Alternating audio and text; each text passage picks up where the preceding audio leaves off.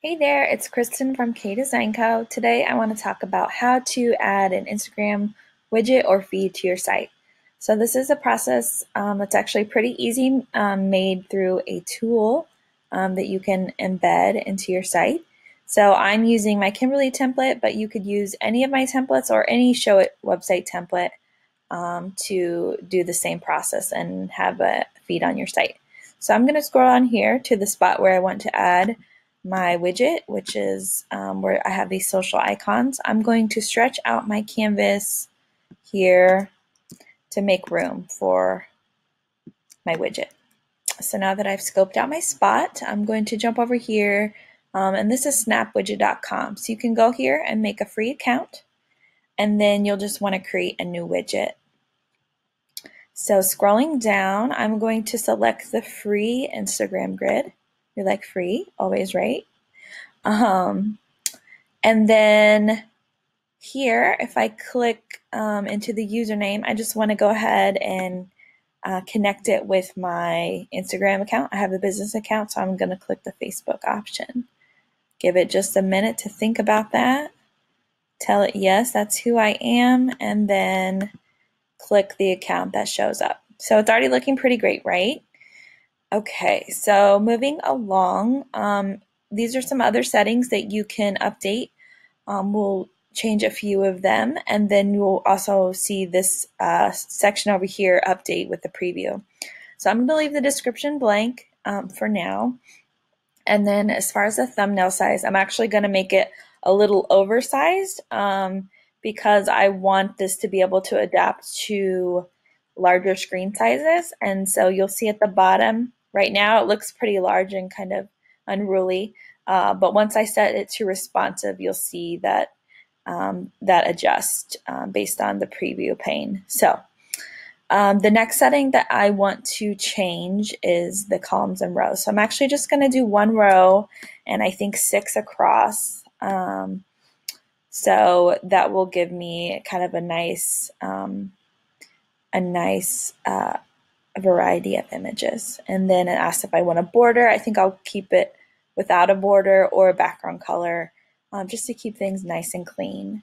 And then I can adjust the photo padding if I want. I actually like this kind of simple line, but you could add, you know, as many or as few pixels. If you wanted these to be nice and cozy, you could just say zero. Um, but I'll leave it at five. And then these last few settings are um, about hovering. Okay, so I think I like um, a fade out hover effect, which basically um, it will cause it to become a little bit transparent when you hover over an image. I think that's nice. It kind of looks like a highlight that I can click it. Um, and then the sharing buttons, um, you'll notice down here there's these kind of slightly transparent icons that show up. I think I just want to turn those off. We'll just keep it nice and clean. And then the last thing um, that I want to do is check that, yes, it is responsive. Um, anytime you can make something responsive on your website, it's great um, because it's going to adapt to um, different browser sizes. So you'll notice since I checked yes, now I have a much more reasonably sized and looking feed um, closer to what is going to be on my final site. So now that I have all those settings updated, I'm going to click Get Widget.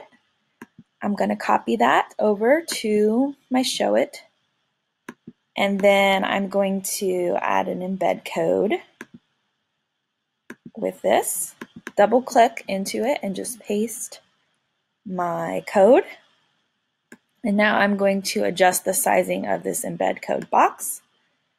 I think I want mine to span the whole width of this area. So it goes from edge to edge.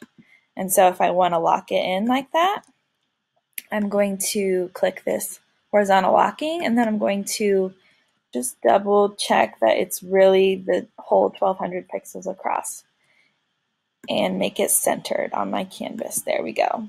Okay. So now that we have that all set up, I also want to just double check my mobile view because anytime you're designing or adding something new to a canvas, uh, you have to consider both both aspects. So you see right now my feed is sitting on top of my icons, which I don't love that. Um, so what I want to do is I'm just going to select all these icons. I'm going to tap them down uh, just like I did on the desktop version. And then I'm going to resize again uh, my feed here for mobile. And if I wanted it to stick to the top, again, I could do that. See, we don't need quite as much space between these icons, so I can just adjust it how I like. And then there we go. Now I have both desktop and mobile formatted side by side. Looks great. And then I'm going to publish it and test it out and see how things look. Okay, so I'm going to open up my new page and scroll on down for the moment of truth. Did it work?